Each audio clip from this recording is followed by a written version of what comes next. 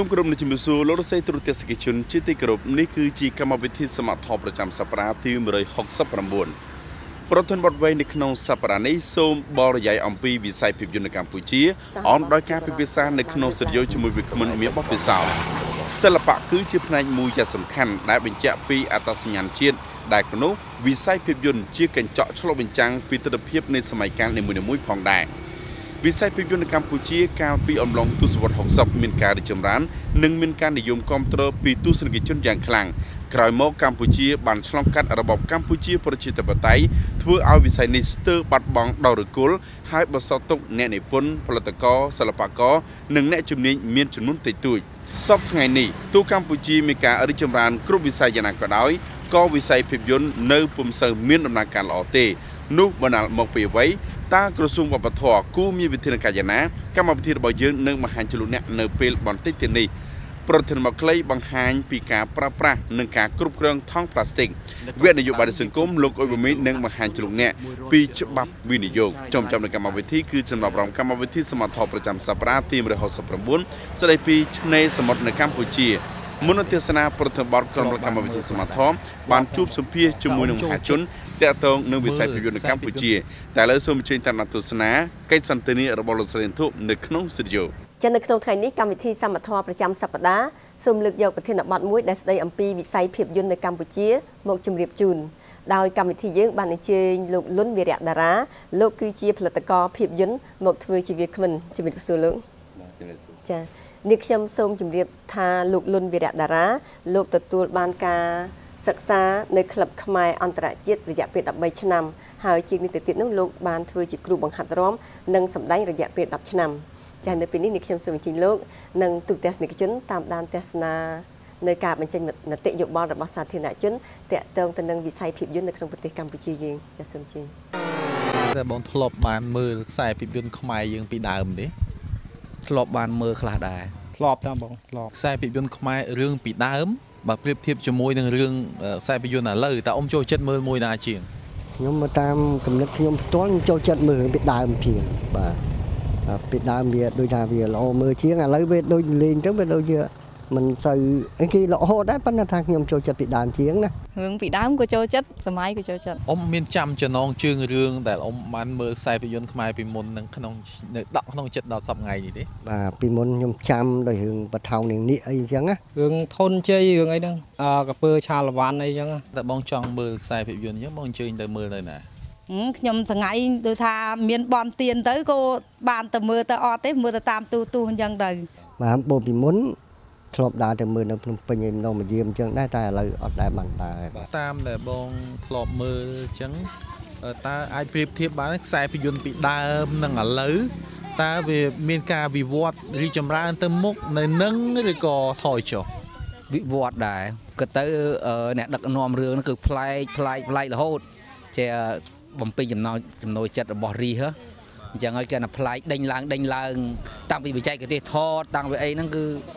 អាចដេញឡើងជាងមុនឆ្ងាយបងគិតថាប្រហែលឆ្នាំទៀតវិស័យភាពយន្តរបស់ខ្មែរយើងនឹងរីកចម្រើនដូច Hollywood ដូចជាបណ្ដាប្រទេសមួយចំនួនទៀតខ្ញុំគិតថាពី3ឆ្នាំទៀតប្រហែលជារីកចម្រើនច្រើនខ្ញុំយល់ថាអឺយើងវាមិនអាចថាដល់កម្រិតដូចគេក៏តែខ្ញុំជឿថាយើងនឹងខិតខំឲ្យដូចគេរឹតតែល្អមើលព្រោះខ្ញុំគ្រប់គ្រងនឹងខ្សែភាពយន្តខ្មែរយើងឥឡូវ ល្អមើលលោកតាមប្រសាសន៍របស់ប្រជាពលរដ្ឋបានលើកឡើងអំបញ្ញមិញនេះយើងឃើញថាភាគច្រើន មានការនិយមទស្សនានៅភាពយន្តរបស់យើងបច្ចុប្បន្ននេះក៏ប៉ុន្តែនេះខ្ញុំសូមជម្រាបសួរលោកថានៅពេលដែលពួកគេទស្សនាហើយតើមានការដកចិត្តដោយលោកពូអំបញ្ញមិញមានប្រសាសន៍ថាមើលកុនពីដើមដកនៅក្នុងចិត្តតើមានចឹងដែរឬទេបងប្អូនមើលរឿងឥឡូវនេះខ្លះក៏មិនតាន់ដកនៅក្នុងចិត្តទេព្រោះការរឿងពីដើមបានដកនៅក្នុងចិត្តទស្សនិកជនទាំងអស់ ចងចាំនៅក្នុងចិត្តរបស់ទស្សនិកជនព្រោះរឿងពីដើមច្រើនតែដកស្រង់ចេញពីប្រវត្តិរបស់ខ្មែរយើងមកបាទគាត់លេងទៅហើយណាមួយបច្ចេកទេសពីដើមសូមទៅសារលោកដឹកនាំដែលចំនួនដើមចំនួនដើមគាត់អត់តមានឧបករណ៍វិទ្យាសាស្ត្រជឿនលឿនដូចយើងសប្ងៃទេតែគាត់អាចធ្វើបានចា៎ចាហើយជាបន្តទៀតនេះសូមជិញលោកនឹងទូទស្សនិកជនតាមដានទស្សនបទយកការរបស់យើងដែលតកតងទៅនឹងវិស័យភាពយន្តនៅក្នុងប្រទេសកម្ពុជាយើងចាសូមជិញ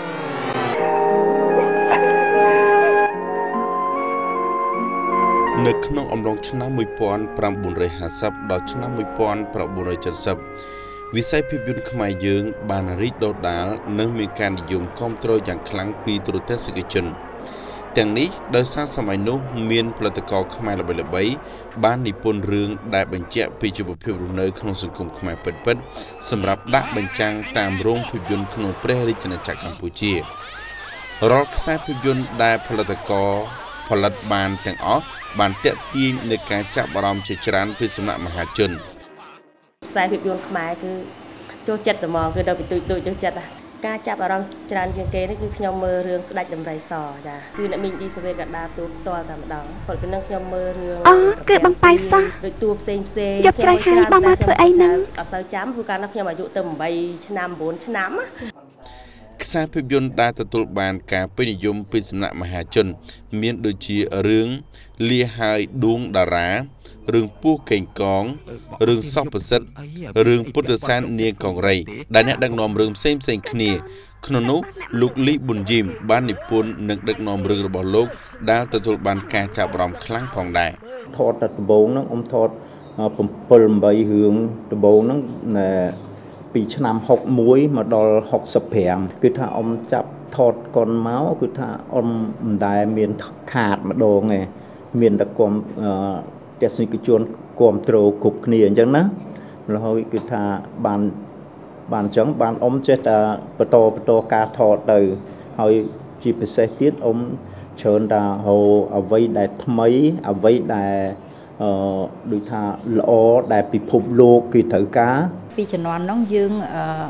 យើងថតជាຂະຫນາດភាពយន្ត fil ជា filcon ចា16មីលីម៉ែត្រឬ35មីលីម៉ែត្រហើយពេលនោះគឺថារោងកុនយើងមានច្រើនណាស់ដូច្នេះយើងមានជំរឿសនឹងទៅមើលកុនចាប្រជាជនខ្មែរយើងភាគច្រើនចូលចិត្តមើលកុនខ្មែរចាដោយសារអីដោយសារវាត្រូវរឿងដែលថាយើងធ្វើរឿងជីវិតយើងធ្វើរឿងដូចថាក្នុងគ្រួសារមួយ មានបញ្ហាមានវិបត្តិឬមួយសេចក្តីសុបាយអីចឹងទៅវាត្រូវរឿងប្រហែលប្រហែលជីវិតមនុស្សយើងរស់នៅអ្វីបាត់តែមានពីបរទេសមែនប៉ុន្តែខ្មែរនៅរកមត្ររបស់ខ្មែរដោយសារអីពេលនោះក៏មានរឿងល្អល្អណាស់ចាដូចថាយើងជ្រើសរើសបើថារឿងបុរាណគឺយើងធ្វើ studio ខ្លួនឯងផលិតកម្មមួយមួយគឺថាគេរៀបចំ studio ដោយខ្លួនឯងភាគច្រើនដូចថាគេសាងជាប្រាសាទជាវាំងជាកតុបស្ដាច់ជាក្រែអីចឹងទៅ ហើយមានអ្នកមកចម្លាក់មកដូចថាធ្វើជាក្បាច់អីអីពីដើមទៅតាមសភៅទៅតាមរឿងប្រវត្តិសាស្ត្រពីដើមជំនាន់នោះយើងមានសម្លៀកបំពាក់យើងក្បួនខ្នាតច្បាស់លាស់ពីព្រោះយើងអត់ទាន់ឃើញក្រៅប្រទេសឡើយទេចាយើងច្បាស់លាស់បើយើងណាស់បើថាមកកត់គឺក្បាច់ពីដើមបើថាអាវគឺអាវរបៀបស្បៃអីច្បាស់លាស់បើយើងច្បាស់ណាស់ចាដូច្នេះហើយខ្មែរយើងអឺ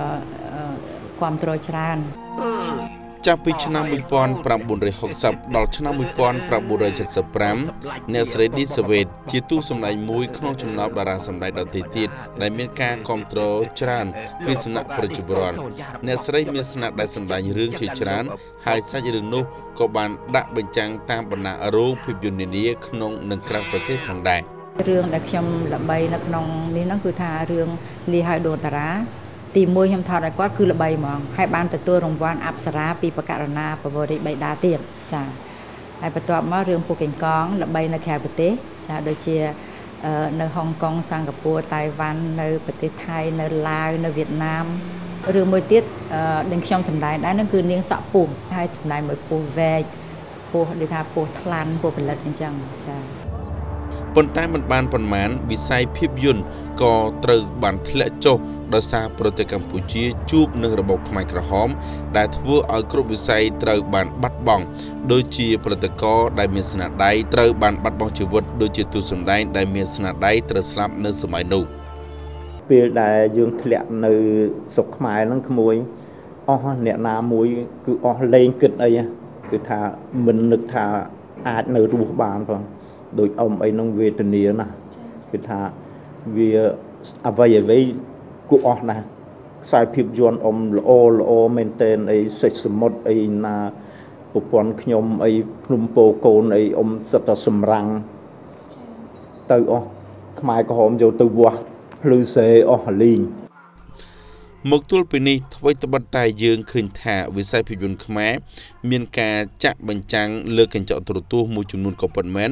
ប៉ុន្តែហាក់បីដូចជានៅមានការមិនរលូននៅផ្នែកមួយចំនួន ដែលធ្វើឲ្យវិស័យភាពយន្តខ្មែរឈានទៅមិនដល់នឹងការប្រកួតប្រជែងជាមួយនឹងខ្សែភាពយន្តបរទេស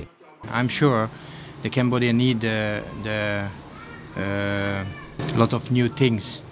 energy uh, equipment improve the knowledge and the expert uh, uh, skill.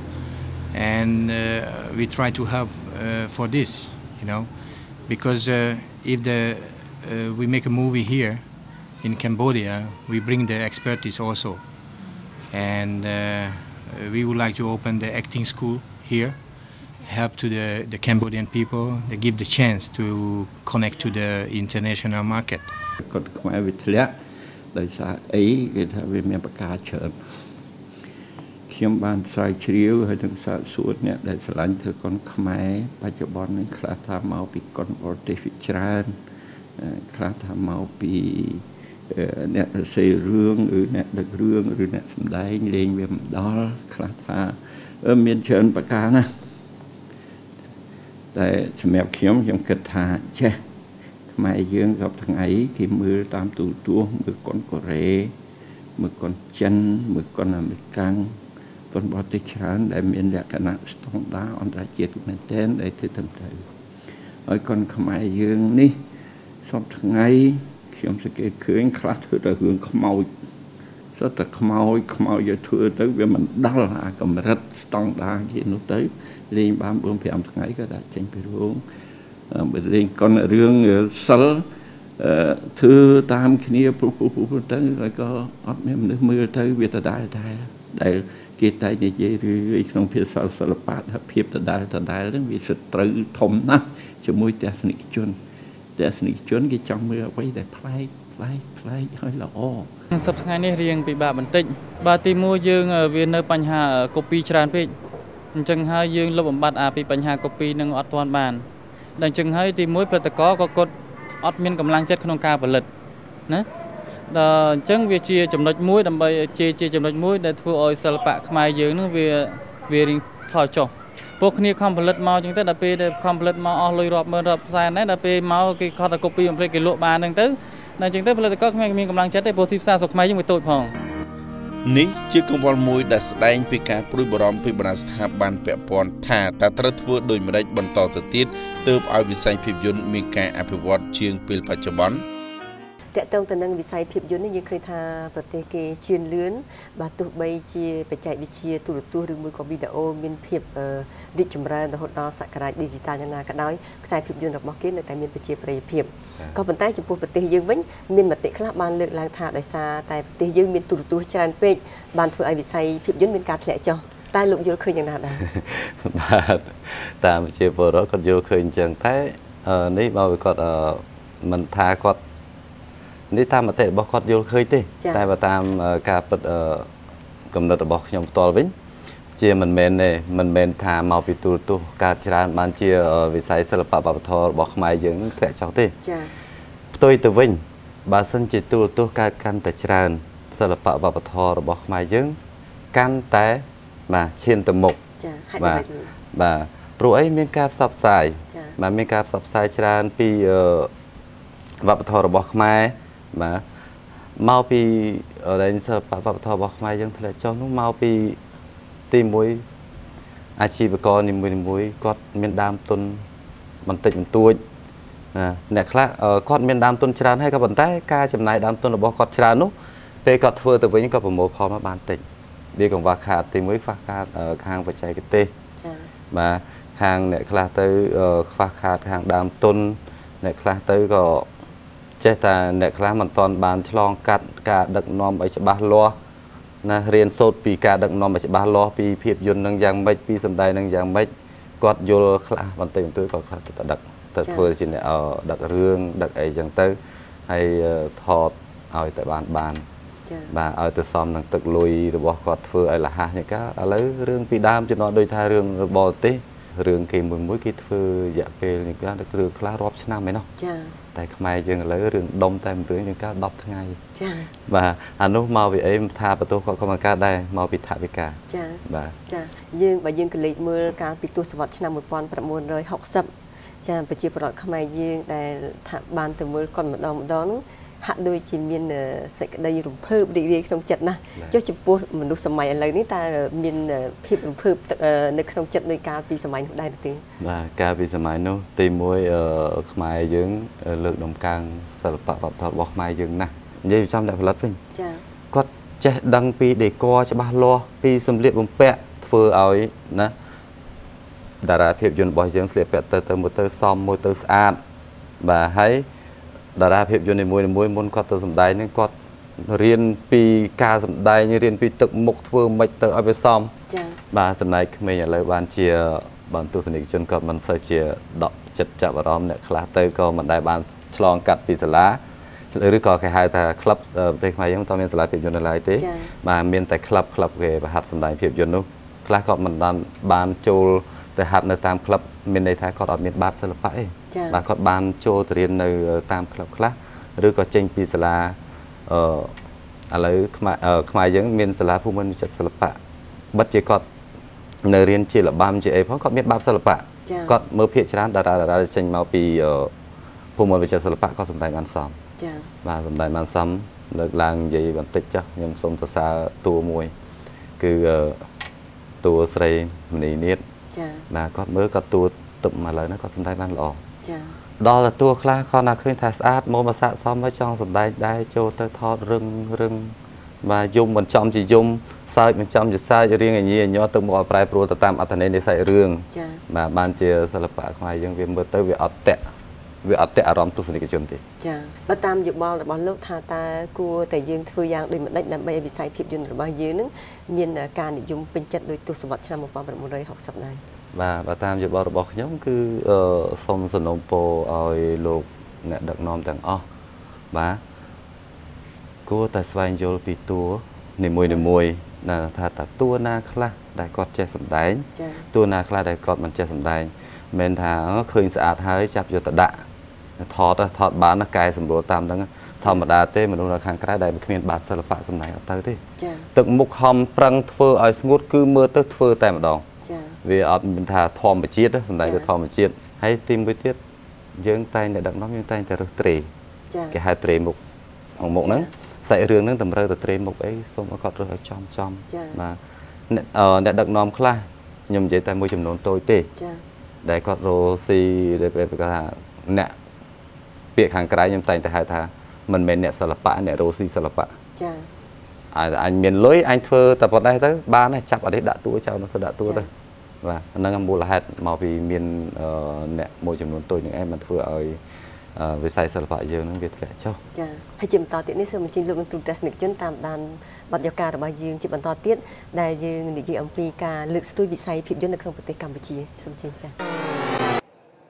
មកទល់នឹងពេលបច្ចុប្បន្នទោះបីជាយើងឃើញថាវិស័យភាពយន្តខ្មែរមានការចាក់បញ្ចាំងលើកញ្ចក់ទូរទស្សន៍តាមបណ្ដាស្ថានីយមួយចំនួនក៏ពិតមែនប៉ុន្តែហាក់បីដូចជា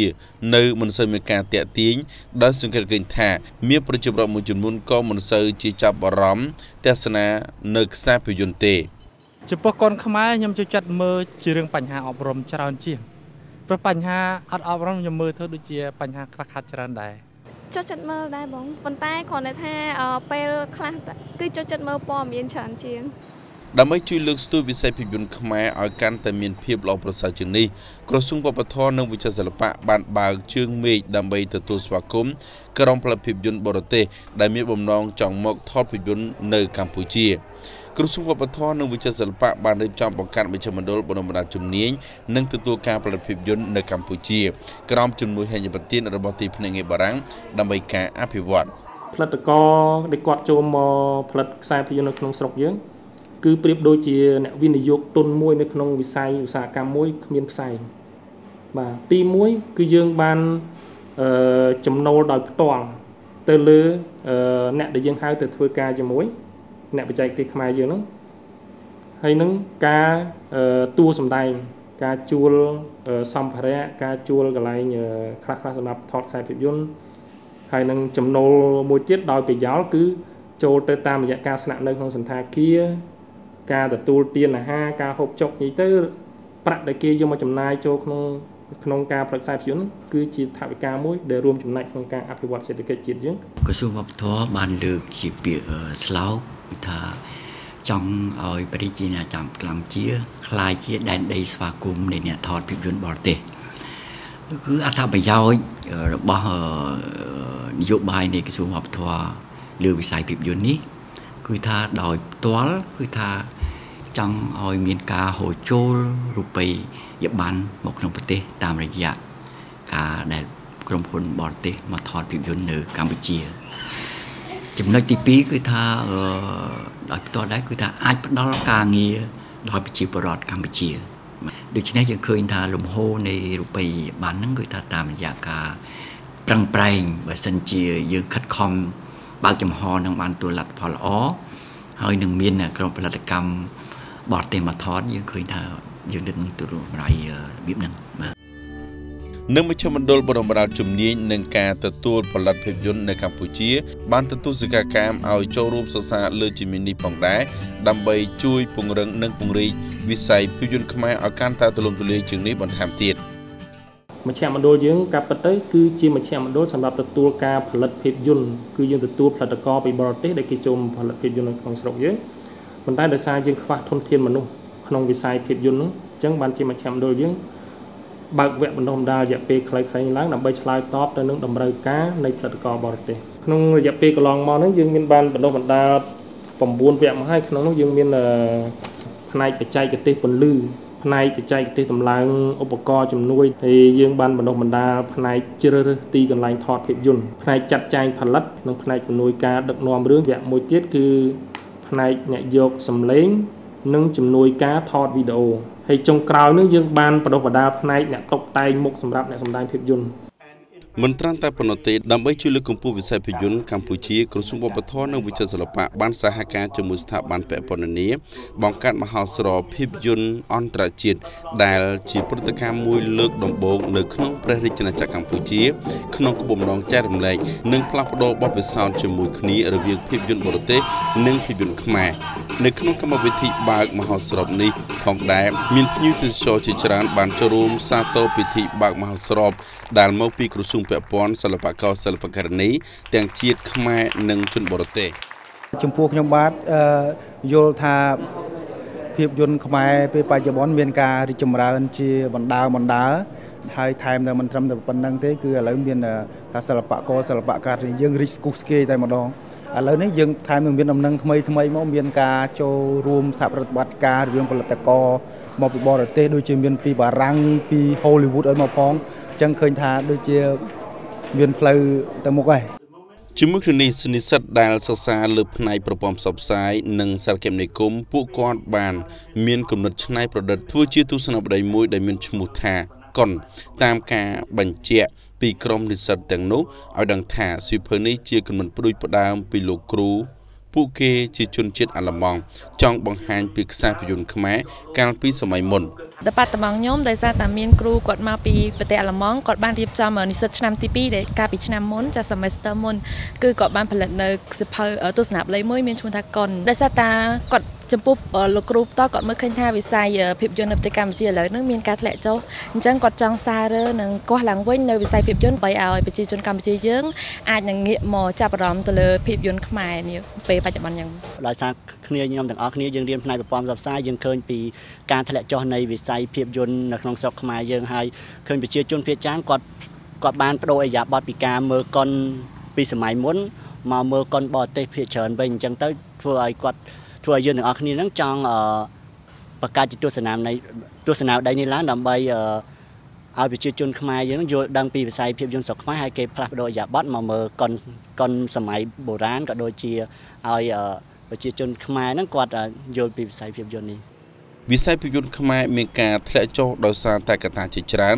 តែទោះបីជាយ៉ាងណាក៏ដោយ ស្ថាប័នដែលមានការពាក់ព័ន្ធកំពុងជួយជ្រោមជ្រែងវិស័យសិល្បៈមិនឲ្យបាត់បង់ក្នុងការថែរក្សានៅមានការសហការចូលរួមពីគ្រប់មជ្ឈដ្ឋាន ក្នុងគោលដៅតែមួយគឺជួយលើកកម្ពស់វិស័យសិល្បៈខ្មែរដូចជាវិស័យភាពយន្តខ្មែរជាដើម។ លោករហូតមកដល់ពេលនេះតើអ្នកដឹកនាំរឿងភាពយន្តខ្មែរយើងមានប្រមាណអ្នកដែរហើយនៅក្នុងចំណោមពួកគាត់ទាំងអស់នោះតើអ្នកណាលេចធ្លោជាងគេបើតាមដែលលោកសង្កេតមើលនៅក្នុងចំណោមនៅក្នុងស្រុកខ្មែរយើងអ្នកដឹកនាំរឿងរបស់ខ្មែរយើងមានភាគច្រើនចា៎តែអ្នកដែលពិតប្រកបនោះ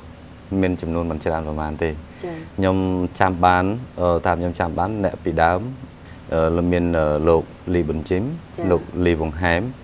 បាទហើយឥឡូវបច្ចុប្បន្ននេះខ្ញុំសូមកត់សរសើរស្នាដៃដឹកណា ដៃដឹកនាំអ្នកចំនួនក្រោយខ្ញុំសូមលើកប្រសើរស្នាដៃរបស់អ្នកស្រីប៉ុនភុងឧផានិងលោកទឹកធិរិតចា៎បាទបាទគាត់ដឹកនាំគាត់មានការមើងម៉ាត់ជួនកាលអឺមកពីតួខ្លះដែលគាត់ពិបាកកែសម្រួលចា៎បាទដោយថាមានការបន្ទាន់ពេកទៅសម្រួលហើយនឹងបញ្យលឲ្យតួនោះលេងបានមកល្មមគាត់អាចយកបានគាត់លួចយកខ្លះខ្លះចា៎ បាទម្លោះហើយត្រង់នឹងឯងចំណុចត្រង់នឹងឯងតែថាកង្វះខាតបាទរបស់ខ្មែរយើងខាងវិស័យភាពយន្តចា៎នៅក្នុងបទយកការអំបញ្ញមិញនេះបានលើកឡើងថាដើម្បីលើកស្ទួយវិស័យភាពយន្តរបស់ខ្មែរយើងឡើងវិញហ្នឹងយើងបានធ្វើកិច្ចសហការជាមួយនឹងបរទេសរហូតមកដល់ពេលនេះតើយើងមានបានទទួលការវិតម្លៃពីបរទេសថាតើភាពយន្តរបស់យើងមានកម្រិតណាដែរបើប្រៀបធៀបប្រទេសនៅក្នុងតំបន់ តាមការពិតទៅបរទេសដែលគាត់បានចូលមកសហការឬក៏គាត់បានមកយល់ឃើញនៅក្នុងប្រទេសកម្ពុជាយើងក្នុងការផលិតខ្សែភាពយន្តហើយឬក៏តួនីមួយនីមួយគាត់មិនមែនជាថាអ្វីទេគាត់ផ្ទុយទៅវិញគាត់បែរជាថាខ្មែរយើងមិនតាន់បានលេងដល់កម្រិតដល់ពួកគាត់នៅឡើយទេខាង Hollywood បើខ្មែរយើងនៅ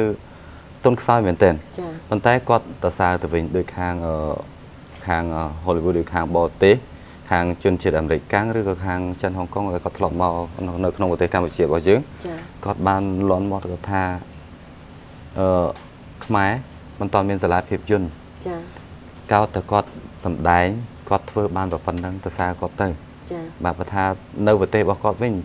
តួនីមួយមួយដែលមិនបានឆ្លងសាលាភាពយន្តគ្មានសញ្ញាបត្រច្បាស់លាស់ទេ มันអាចទេមកឈោមឹងមឹងមឹងមឹងថតអត់កើតទេហើយខ្មែរយើងធ្វើបានប្រាប់បន្តិចតួចធ្វើបានប៉ុន្តែល្អមិនល្អគាត់ចិត្តទៅរហូតមកដល់សប្តាហ៍នេះយើងឃើញថានៅតាមរោងភាពយន្តមួយចំនួននៅទីក្រុងភ្នំពេញយើងនេះច្រើនតែដាក់បញ្ចាំងរឿងភ័យរន្ធត់ដូចជារឿងខ្មោចជាដើម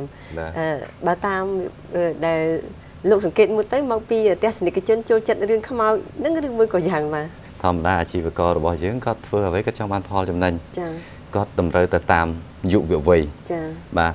ភាគច្រើនណាស់តាមរោងភាពយន្តនីមួយៗដែលចូលទស្សនាកម្រមានមនុស្សចាស់ចូលទៅមើលណាបើសិនជាអាជីវករយើងនីមួយៗគាត់ធ្វើរឿងរបៀបជាអប់រំឬក៏តាក់ទងនៅជីវប្រវត្តិរបស់ខ្មែរនៅប្រទេសជាតិក៏តើសូវចង់មើលទេចា៎បាទហើយដោយវ័យចំណាស់ណាស់វល់តែចប់ការងារមិនសូវដែរបានមើលបានមើលទទួលទោសពេលយប់ទេចា៎បាទហើយនឹងចង់ដឹងពីព័ត៌មានស្អីចង់ឆ្ងល់មួយបើកស្ដាប់ព័ត៌មានរួយមើលព័ត៌មានរឿងសូវបានមើល រឿងខ្មែរដែលបានចាក់បញ្ចាំងនៅពេលយប់ដូចជាខ្ញុំអីបានមើលខ្លះចាបើថាពេលថ្ងៃចប់ហើយបានមើលទេចាទន្ទឹមនឹងនឹងដែរយើងឃើញថាក្រសួងវប្បធម៌និងវិចិត្រសិល្បៈហ្នឹងក៏បានចូលរួមចំណែកយ៉ាងខ្លាំងដែរនៅក្នុងការលើកស្ទួយវិស័យភាពយន្តរបស់យើងនេះដោយបានរៀបចំជាមហោស្រពអន្តរជាតិតើលោកយល់ឃើញថាមហោស្រពអន្តរជាតិហ្នឹងអាចផ្ដល់ផលប្រយោជន៍យ៉ាងដូចម្តេចខ្លះដល់ ខ្សែភាពយន្តរបស់យើងជាពិសេសដល់អ្នកដឹករឿងរបស់យើងដើម្បីឲ្យគាត់មើលឃើញថាមិនមែនតែរឿងខ្មោចទេដែលអាចធ្វើបានគឺនៅមានរឿងប្លែកប្លែកច្រើនណាស់ដែលយើងអាចធ្វើបានខ្ញុំយល់ឃើញថាខាងក្រសួងវប្បធម៌គាត់បានរៀបចំអឺជាមហោស្រពជាមហោស្រពខ្សែភាពយន្តអន្តរជាតិហ្នឹងល្អមែនទែនចា៎បាទ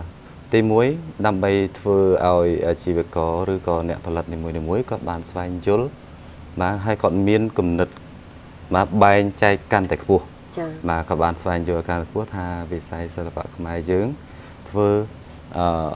ធ្វើទៅដើម្បីឲ្យប្លែកធ្វើទៅដើម្បីឲ្យថាតាក់ទាញចំណាប់អារម្មណ៍របស់អតិថិជនរបស់មហាជន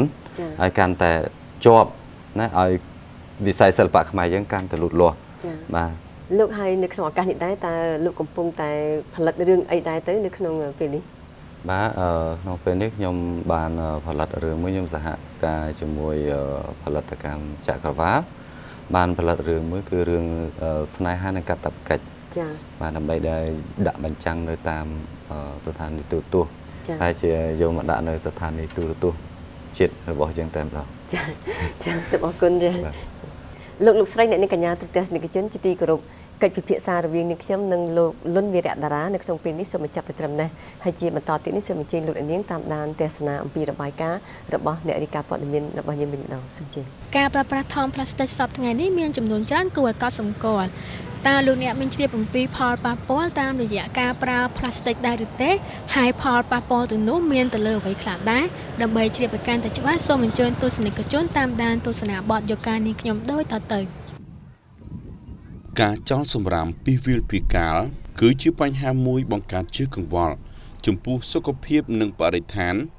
សពថ្ងៃ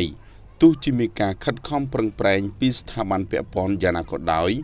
នៅតែមានមនុស្សមួយចំនួន មិនអើពើពីផលប៉ះពាល់បរិស្ថាន ដែលបណ្ដាលមកពីការចោលសម្រាមទាំងនេះផងដែរលោកសំផល្លាប្រធានគម្រោងធ្វើជាកំពកឲ្យដឹងថា នៅរាជធានីភ្នំពេញ មានសំណល់ច្រើនក្នុងមួយថ្ងៃមានរហូតដល់1200តោនបើតាមរយៈទស្សនាវដ្តីអន្តរជាតិដែលមានឈ្មោះថា The Environment Magazine ដែលបានផ្សាយថាថង់ផ្លាស្ទិកមួយអាចទាមទាររយៈពេលរលាយពី10ទៅ100ឆ្នាំ តាមការប៉ាន់ប្រមាណជាទូទៅ ប្រសិនបើត្រូវកម្ដៅព្រះអាទិត្យប៉ុន្តែវាអាចនឹងបន្សល់ទុកនៅក្នុងប្រធានជារៀងរហូត It's it, there's, there's two main problems with it. The one the first one is that it looks bad. Um, you think about what your ancestors did in Cambodia. They left things like Angkor Wat and the temples to look at 1,000 years ago. Plastic bags take 1,000 years before they disappear. So, this generation of Cambodians, instead of leaving Angkor Wat, is leaving Mount Meru of plastic bags, and it just looks so bad. But the, the way that, that many villages, the only way they have to, to remove the plastic bags is to burn them. And that lets off so many toxic fumes that are very bad for the village's health. So, apart from mixing with the water in the ground that people are drinking, the burning of them is, is the, the smoke uh, and the fumes is very bad for your health as well. ជាទូទៅសំណល់បើសិនជាយើងមិនគ្រប់គ្រងឲ្យបានច្បាស់លាស់ ការពិតណាវាអាចធ្វើឲ្យយើងប៉ះពាល់ដល់សុខភាពយើងគ្រប់គ្រងមិនបានល្អដូចជាការឆេះនៅលើទីលានវាអាចមានផ្សែងដោយសារសំណល់យើងយើងអត់បានបែងចែកច្បាស់លាស់ដល់អញ្ចឹងវាអាចមានសារធាតុផ្សេងផ្សេងដែលអាចធ្វើឲ្យប៉ះពាល់បរិយាកាសក៏ដូចជាយើងដកដង្ហើមមកវាអាចប៉ះពាល់ឲ្យម្យ៉ាងទៀតសំណល់ជីវៈនេះកាលណាយើងមិនបានយកវាចេញមកហើយយើងចាក់រីរៀនវាធ្វើឲ្យមានសំណល់ទឹកច្រើនបាទវាមានជាតិទឹកច្រើនណាអញ្ចឹងវាធ្វើឲ្យមាន ទឹកសំអុយនឹងច្រើនហូរទៅធ្វើឲ្យប៉ះពាល់ទឹកក្រោមដីបាទហើយពេលណាដែលមានថង់ប្លាស្ទិកអីហើយយើងដុតឆេះទៅនៅក្នុងកម្រិតសីតុណ្ហភាពដែលយើងមិនបានដល់វានឹងតែធ្វើឲ្យប៉ះពាល់សុខភាពដែរបញ្ហាចម្បងមួយទៀតដែលប្រជាពលរដ្ឋមិនដែលមានការចាប់អារម្មណ៍នោះគឺការវិខ្ចប់ចំណីអាហារដែលប្រើថង់ប្លាស្ទិកការប្រើបែបនេះវាធ្វើឲ្យប៉ះពាល់ដល់សុខភាពបន្តិចម្ដងបន្តិចម្ដងយើងឃើញស្រាប់ហើយថានៅប្រទេសយើងនេះការប្រើ ថង់ប្លាស្ទិកទីទូទៅបាទសូម្បីតែគាត់ទិញចំណីអាហារបន្តិចបន្តួចក៏គាត់ប្រើថង់ប្លាស្ទិកដែរដូច្នេះវាមានផលប៉ះពាល់ដល់សុខភាពយ៉ាងខ្លាំងពីព្រោះថង់ប្លាស្ទិកវាផលិតជាច្រើនពីសារធាតុគីមីទីហោតាប៉ូលីអេទីឡែនបាទវាមានលក្ខណៈជាម៉ូលេគុលប៉ូលីមែសារធាតុផ្សេងផ្សេងដែលផ្សំនៅក្នុងការផលិតវាមានសារធាតុផ្សេងផ្សេងទៀតប៉ុន្តែជាទូទៅគឺយើងត្រូវតែទីមួយគឺយើងអប់រំបាទអប់រំប្រជាជនប្រើប្រាស់ថង់ប្លាស្ទិក អ្នកដែលទិញថង់ប្លាស្ទិកអ្នកដែលផលិតថង់ប្លាស្ទិកជាទូទៅឲ្យគាត់យល់ដឹងពីបញ្ហាផលប៉ះពាល់ដល់សុខភាពពេលខ្លះគាត់អាចមានជំរឿសមួយគឺថាគាត់មិនមិនមិនមិនគួរប្រើថង់ប្លាស្ទិកទេបាទគាត់ត្រូវប្រើជាទៅសារធាតុដែលដាក់ចំណីអាហារហ្នឹងគឺធ្វើពីប៉ុកសាឡែនបាទធ្វើពីកែវបាទធ្វើពី stainless steel ជាដើមបាទជំនួសឲ្យថង់ប្លាស្ទិកពេលខ្លះនៅតាមជនបទគាត់អាចប្រើជា បាទសម្រាប់ចាប់ចំណីអាហារដូចជាស្លឹកឈូកស្លឹកចេកអីវាអាចរលាយចូលក្នុងបរិស្ថានងាយស្រួលផងវាប៉ះពាល់ដល់សុខភាពផងតើត្រូវធ្វើបែបណាដើម្បីកាត់បន្ថយនៅកាកសំណល់ផ្លាស្ទិកនិងការគ្រប់គ្រងឲ្យបានល្អនេះជាសកម្មភាពរបស់បងប្អូនប្រជាពលរដ្ឋរស់នៅភូមិត្រៀតខេត្តសៀមរាបព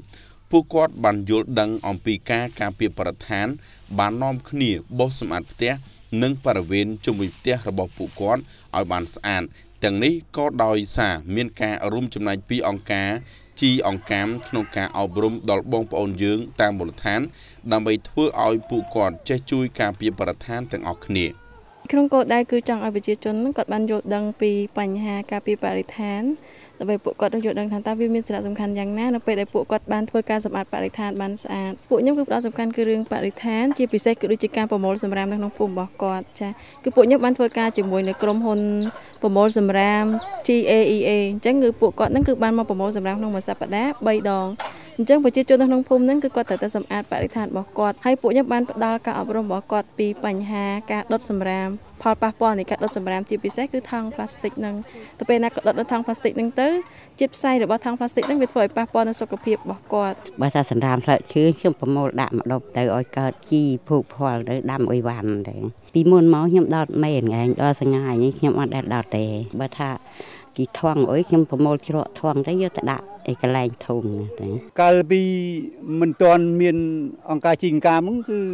វិជាជនភាគច្រើនប្រមូលថងបានច្រើនដុតបាទច្រើនដុត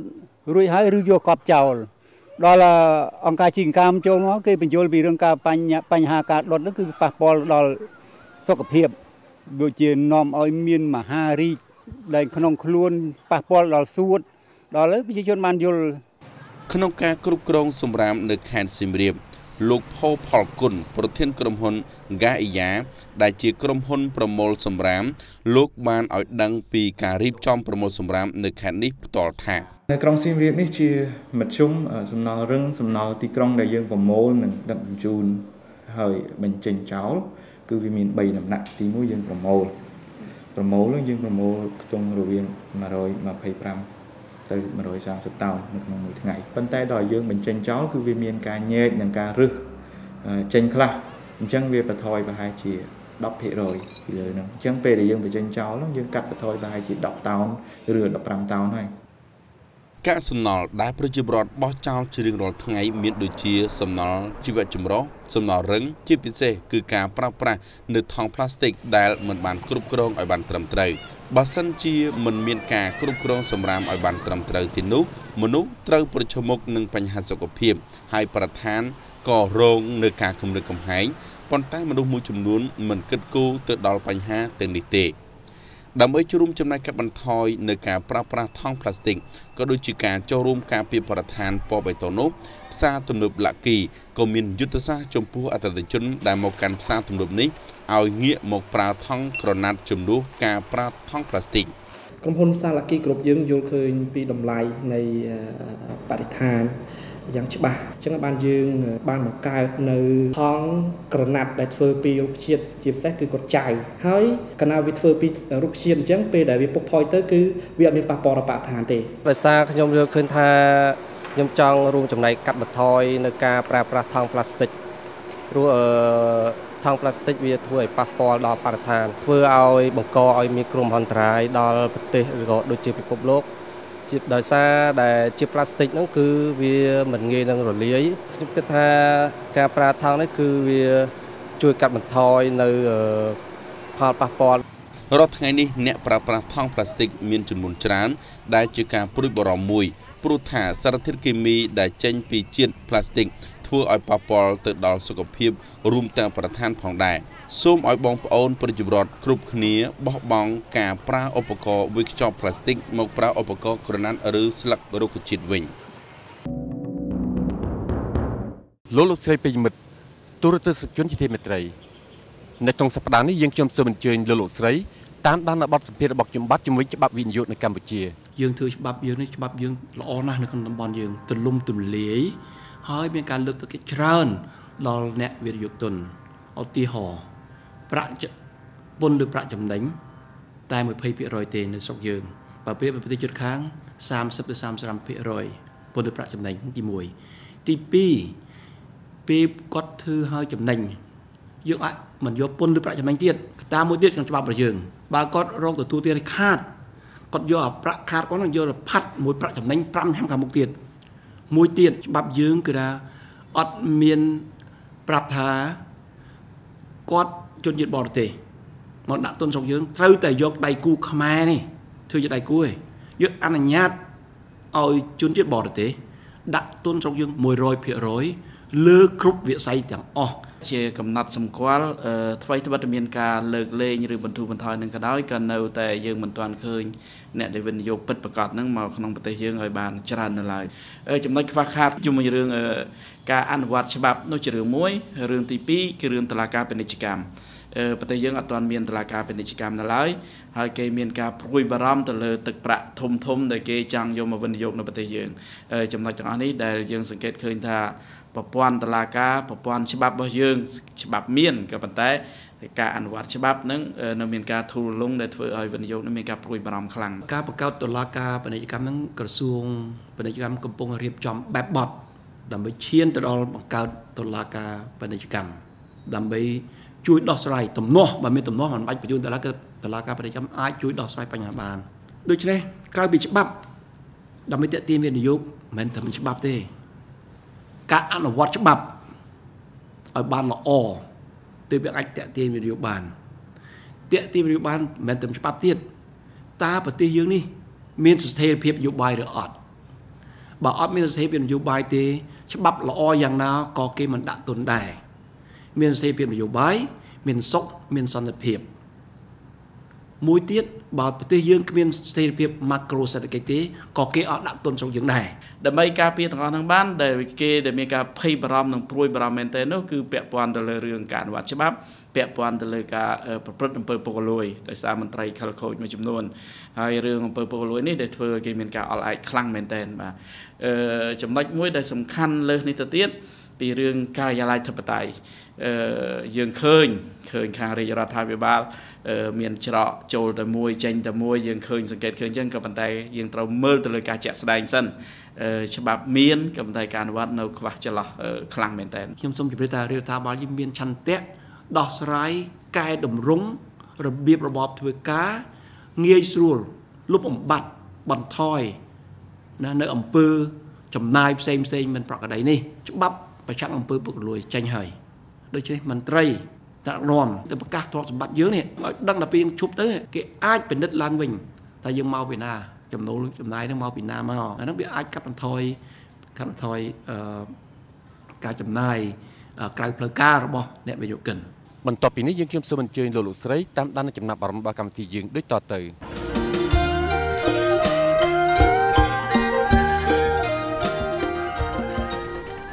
ធម្មជាតិបង្កើត ទឹកមេឃដី មនុស្សសត្វអាស្រ័យក្រងជីវិត កើតមកជាមនុស្សគួរជួយគិត អាណិតដល់ជាតិដល់កូនចៅរក្សាមាយាទជាអ្នកខ្ពស់គុំរស់មិនគិតគុំនឹកខ្លៅធ្វើចិត្តអ្នកបុណ្យគុំចិត្តខ្មៅ អ្នកប្រាជ្ញប្រដៅគុំបំពេញ គុំស៊ីហើយចោលពីវាលកាល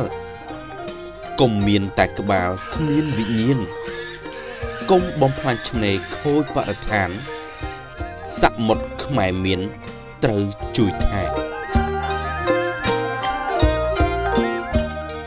កម្មវិធីសមាធម៌ប្រចាំសប្តាហ៍មានផ្សាយរៀងរាល់យប់ថ្ងៃអាទិត្យក្រោយកម្មវិធីព័ត៌មាននិងផ្សាយឡើងវិញលើកទី1រៀងរាល់ថ្ងៃច័ន្ទវេលាម៉ោង1រសៀលលើកទី2រៀងរាល់ម៉ោង1ទីភ្លឺថ្ងៃពុធ លោកអ្នកអាចទស្សនាគេហទំព័រនិងចូលរួមបញ្ចេញមតិយោបល់តាមរយៈ SMS Email និង Facebook ដែលមាននៅលើកញ្ចក់ទូរទស្សន៍ស្រាប់លោកអ្នកអាចទស្សនាវីដេអូកម្មវិធីសមាធិប្រចាំសប្តាហ៍ដោយចូលទៅ website www.equitycam.tv ។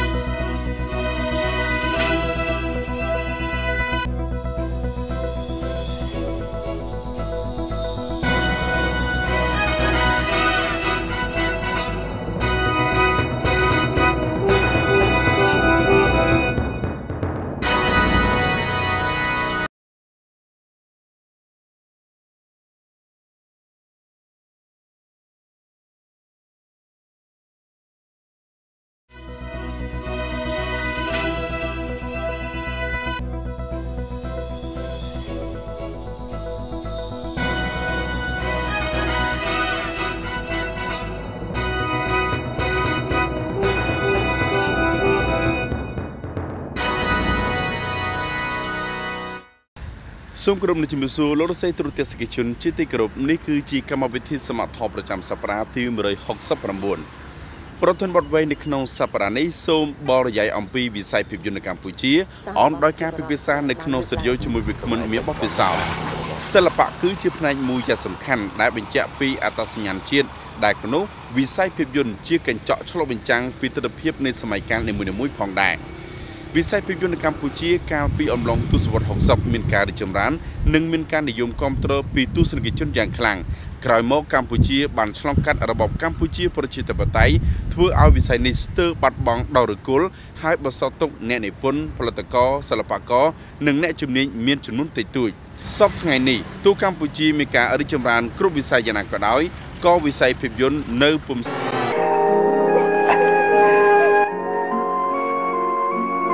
នៅក្នុងអំឡុងឆ្នាំ1950ដល់ឆ្នាំ1970វិស័យភាពយន្តខ្មែរយើង បានរីកដុះដាលនិងមានការនិយមគ្រប់គ្រងយ៉ាងខ្លាំងពីទូរទស្សនិកជន